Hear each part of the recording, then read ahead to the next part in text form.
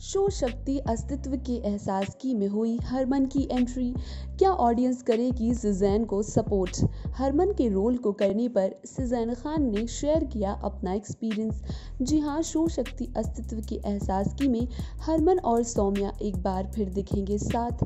शक्ति अस्तित्व के एहसास की शो की टीआरपी एक बार फिर से बढ़ गई है, जब से सौम्या शो में वापस आई है।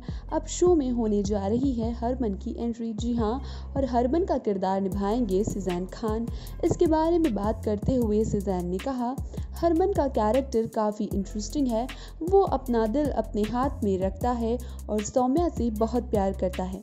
मैं स्क्रीन पर वापस आने के लिए बहुत ज़्यादा एक्साइटेड हूँ। हरमन की वापसी के साथ काफ़ी कुछ खुलने वाला है और मैं ये उम्मीद करता हूँ कि ऑडियंस मुझे सपोर्ट करेगी।